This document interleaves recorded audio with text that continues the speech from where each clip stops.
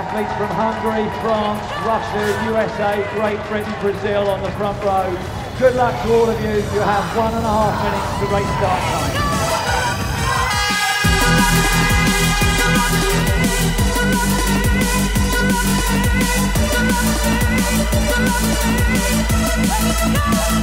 Bernbach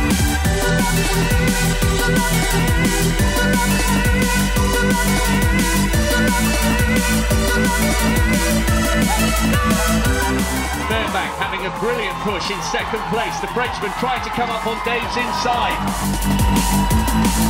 Come on, Dave. Let's put those fingertips to the test. It's going to be mighty, mighty close on the line. Is George going to deny Dave Weir? Oh my goodness, yes he is. In the T11, T12 category, El Amin Chentouf of Morocco striding up the mile. T12 5,000 meter gold medalist from London 2012. And he broke the world record by more than 30 seconds.